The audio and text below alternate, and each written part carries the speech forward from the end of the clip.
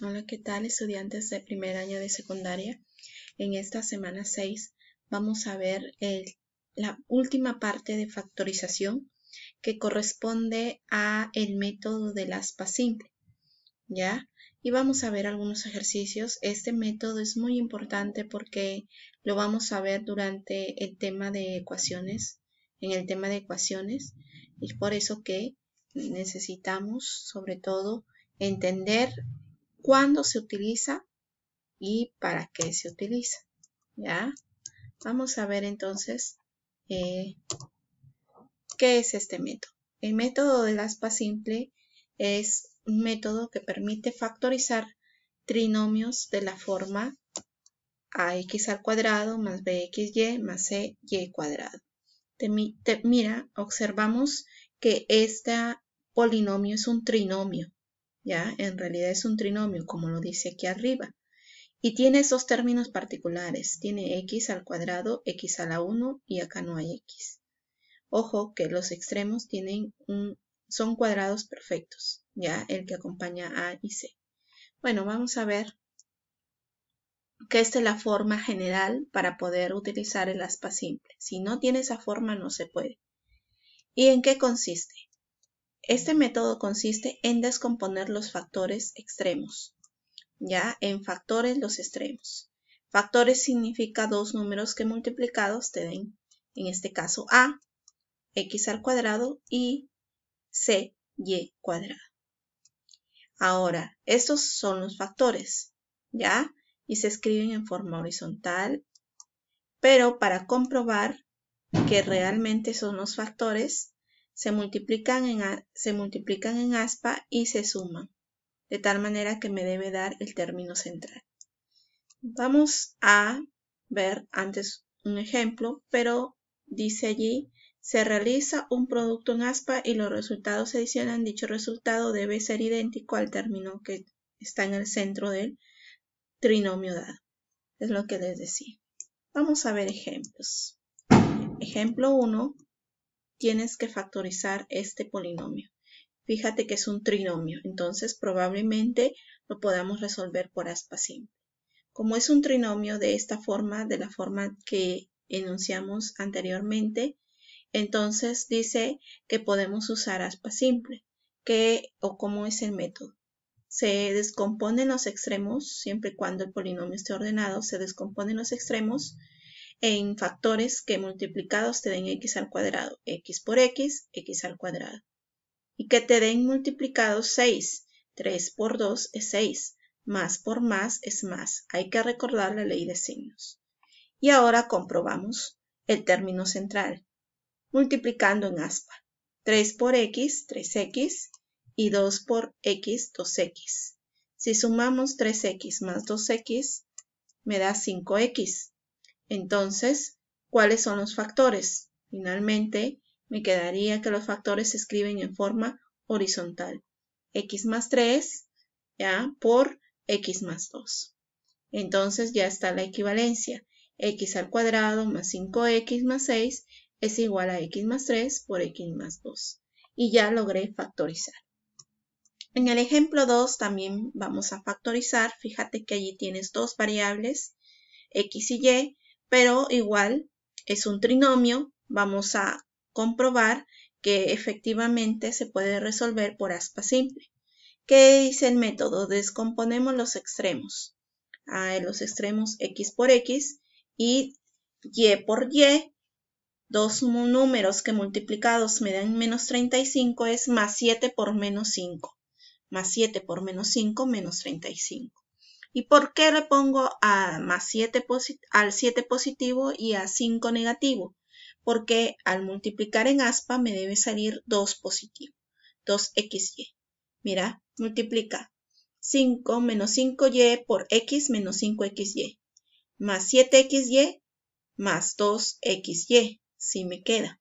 Entonces, ¿cuáles serían los factores? Los factores serían o se escriben en forma horizontal x más 7y por x menos 5y. ¿Ya? Entonces, podemos escribir ya la respuesta. Este trinomio es igual a x más 7y por x menos 5y. Bien, y ahora vamos a ver algunos ejercicios de aplicación que sobre todo les van a servir como problemas o en algunos de ayuda en algunos ejercicios que están planteados en el módulo. La primera pregunta dice, un factor de este polinomio es, vamos a ver la solución. Ese polinomio, como está, pareciera que no se puede factorizar. Tiene cuatro términos. Una, dos, tres y cuatro. Observa que este no es un trinomio. Sin embargo, estos tres primeros sí forman un trinomio. Una, dos, tres, hasta aquí forman un trinomio. ¿A qué sería igual? Descompongo los extremos. Dos números o letras que multiplicados me den al cuadrado x al cuadrado es ax por ax. Y que me den 16c cuadrado, 4c, 4c. 4 por 4, 16, c por c, c cuadrado. ¿Y por qué menos por menos? Porque menos por menos es más. Al multiplicar en aspa me queda menos 8 ACX, ¿sí? ¿Por qué? Porque menos 4 ACX, menos 4 ACX, menos 8 ACX. Y ahora tengo este. Me quedaría estos factores AX menos 4C por AX menos 4C, es decir, AX menos 4C todo al cuadrado menos 25B cuadrado. Hasta ahí hemos usado aspa simple en este caso. Ahora, aquí todavía hay que seguir factorizando. Observa que es una diferencia de cuadrados. Se parece a una diferencia de cuadrados. ¿Cuál sería la forma? Mira, ahí está. AX menos C, como que recordamos el anterior método. 4C al cuadrado menos 25, yo puedo escribirlo como 5B todo al cuadrado. Y ahí está. Se dio la forma de una diferencia de cuadrados. Entonces, ¿cuánto me quedaría? Ah, lo factorizo, me quedaría ax menos 4c más 5b y ax menos 4c menos 5b. Uno va con más 5b y otro va con menos 5b. Esto es entonces la fórmula de la diferencia de cuadrados. Y ya está factorizado. Ahí está. Uno de los factores sería, bueno, estos serían los factores, ¿no? Bien, vamos a ver la pregunta 2, que es un problemita y vamos a leerlo. Dice, dos agricultores para realizar un sembrío de hortalizas deciden juntar sus terrenos de x al cuadrado menos 2x menos 15 y x al cuadrado menos x menos 6. Si el nuevo terreno conserva el ancho común de ambos terrenos, ¿cuál es el ancho de dicho terreno? Dice que dos agricultores tienen terrenos y los juntan, los une. ¿ya? Pero dice que desean conservar el mismo ancho, el ancho común. Quiere decir que tenemos que hallar el ancho de esta área y de este terreno que está acá. Y vamos a hallarlo, ¿ya? ¿Cómo? Tú sabes que en un terreno que si es rectángulo es largo por ancho, ¿no? Y entonces va a que ver qué factores multiplicados te da x al cuadrado más 2x menos 15. Para eso hay que factorizar.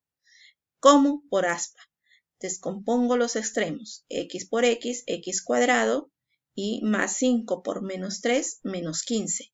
Si multiplico en aspa, me queda menos 3x, menos 3x, más 5x, más 2x. Ahí está, sí me da el término central. Por lo tanto, los factores serían x más 5 por x menos 3. Uno de estos es el largo y otro el ancho. Vamos a ver el siguiente terreno. El siguiente terreno mide esto. Si lo factorizamos por aspa simple, porque es un trinomio, decimos x por x, x cuadrado, 2 por 3, 6, más por menos, menos. Y si comprobamos el término central, más 2x menos 3x, me da menos x. Entonces los factores serían x más 2 por x menos 3. Ahora, fíjate los dos terrenos. ¿Qué tienen en común? tienen en común x menos 3. Ese va a ser el ancho porque dice que conservan el ancho común. Efectivamente, estoy observando que están conservando el ancho común. Por lo tanto, ¿cuál es el ancho de dicho terreno? x menos 3. Ahí está. Esa sería la respuesta. x menos 3. Pregunta 3. Me piden factorizar x más 3 al cuadrado más 6x más 3 más 9 y te piden indicar un factor primo. Te dan las siguientes alternativas y vamos a ver la solución. En esta pregunta observa que este polinomio se puede cambiar la variable. Vamos a cambiar la variable. A este que está entre paréntesis x más 3 le vamos a llamar a. ¿Ya? Cambiamos de variable, entonces tendríamos a al cuadrado, ya no x más 3, sino a al cuadrado más 6 por a más 9. Y este es un trinomio que se puede factorizar por aspa simple. Descompongo los extremos, a por a es al cuadrado, 3 por 3 es 9, si multiplicamos en aspa me da 3a más 3a, 6a.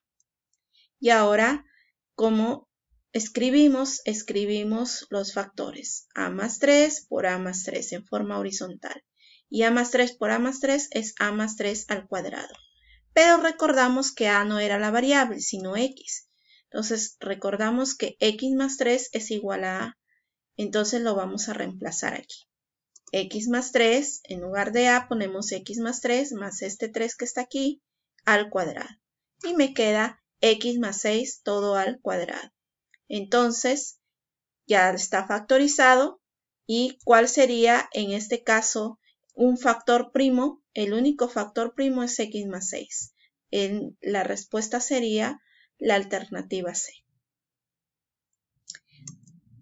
Bien, vamos a ver la pregunta número 4. Te piden factorizar e indicar uno de los factores de n. Te dan cinco alternativas y vamos a ver la solución. Observa que también es un trinomio. Es un trinomio, por lo tanto, y tienen la forma de un aspa simple vamos a factorizar mediante la aspa simple. S podemos factorizar por aspa simple como descompongo los extremos, ¿ya? Descompongo los extremos. X por X y 24 es 8 por 3, menos por más. Menos. Si multiplico en aspa, X más 3, X por 3, 3X menos 8X me da menos 5x. Y eso es entonces lo que está aquí en el término central, si cumple. Por lo tanto, ¿cuáles serán los factores?